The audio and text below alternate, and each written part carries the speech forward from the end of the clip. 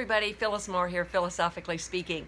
You might be hearing, uh, it's not even the pitter patter of raindrops, it is the click, click, click, click, rain on the roof kind of thing, and I don't have a tin roof, but as I am recording this, we are anticipating possible hurricane-ish um, tropical storm, whatever. I guess it's all kind of in the same vein.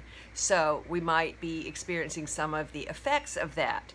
And I was just out on a walk and thought, it, well, initially I had looked at the app on my phone and, and, and thought it might be raining all day today, but definitely tomorrow. And in the meantime, I guess it changed overnight. So when I got up this morning, didn't set an alarm, figured, okay, it's going to be raining, so scrap the, the walk. We can, can revamp, whatever. But when I got up, the sun was shining. It was a beautiful day. I went about my business. It looked like it might not rain possibly until this afternoon. That changed in the course of a couple of hours. I was almost to my house and it looked like it was, the sun was kind of got to kind of hiding behind the clouds. Still didn't think anything about it. I don't think I had been home five minutes before the rain started and there was rumbling and thunder and various things. The weather can change on a dime, and you already know that. But uh, it just goes to show, you know, you can make plans, but life can interrupt, definitely. Uh, let me go ahead and invite you to click like, share, and subscribe. And kind of follow along on every day is a different day, right? And I'm sure you have that experience as well. Changes like the weather. And what I read this morning was something that reminded me. It's a simple little Bible verse reference, and it's going to be my challenge for you as well as myself today. And the three components of it are be quick to listen, slow to speak, and slow to become angry. Wow, right? And I don't want to generalize or generalize and say, you know, as a girl, I, you know, whatever. I don't want to I don't want to go into that. I don't want to stereotype anything.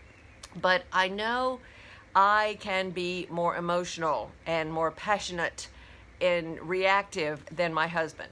And that may have nothing to do with anything other than the way we are hardwired.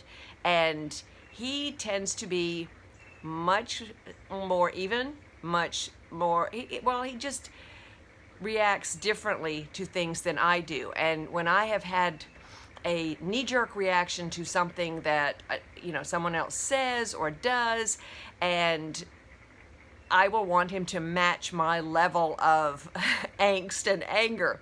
And he doesn't. He doesn't always do that, which is really good, by the way. I mean, I would love for him to go and pile on and say, yes, they're horrible, they're beasts, they're, you know, awful, we are right, we don't like them.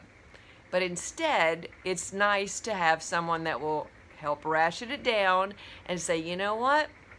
Don't let it affect us. Don't let it rob us of our peace you know, let's just kind of look at it a different way. Doesn't make me wrong, whatever. But I had an illustration over the weekend, and I'm hoping he will not mind me using him as an example because it taught me something.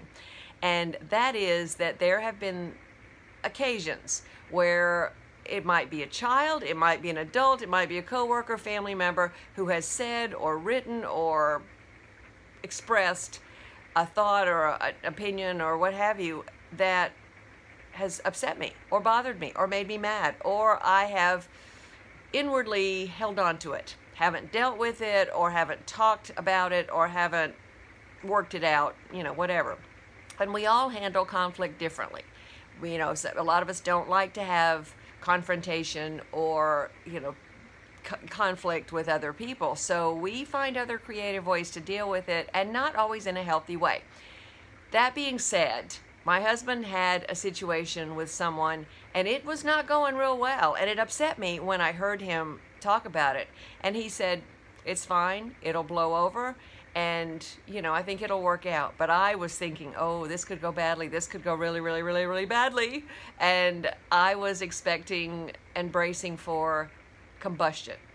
And the person showed up at, at the house and I went, oh no, oh no. And I just went into overdrive and prayed and prayed and prayed, please let this be resolved, please let it be resolved because I didn't want hurt, I didn't want fist fights.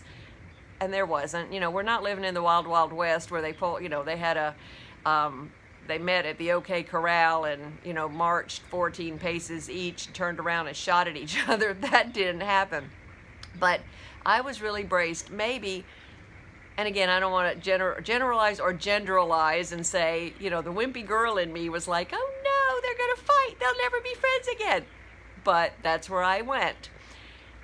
And instead, they were gone, you know, for a while. And when he did return, he basically I guess he got to express what he needed to say.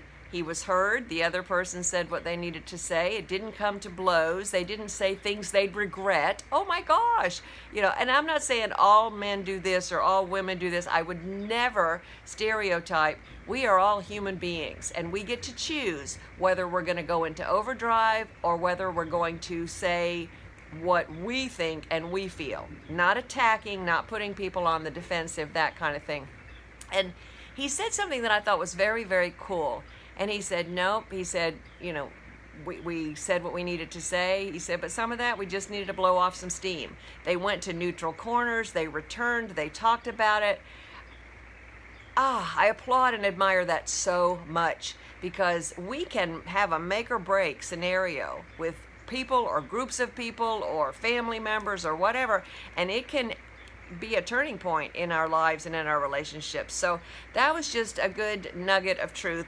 And I'm going to conclude again with the main thing that I read that God instructs us to do be quick to listen, slow to speak, and slow to become angry. If we follow that, you know, listen, hear the other side, hear their heart, don't overreact or react, you know, before we need to. Just listen. Think before we speak and be slow to anger. I'm sorry, that's huge. And I'm going to conclude on that because that is a mouthful. And you need to chew on that and digest that and see where we need to go with that. Because it's not even about the other person, it's really about our quality of life and having the peace within ourselves we'll be happier with with ourselves. We can live with us. You know, we can't necessarily live with someone else. We can avoid that, but we need to have peace within. So I encourage you to let that be a balm, a blessing, you know, something, a gift for you today. Don't forget to click like, share, and subscribe. Thanks for tuning in. Catch you later. Bye.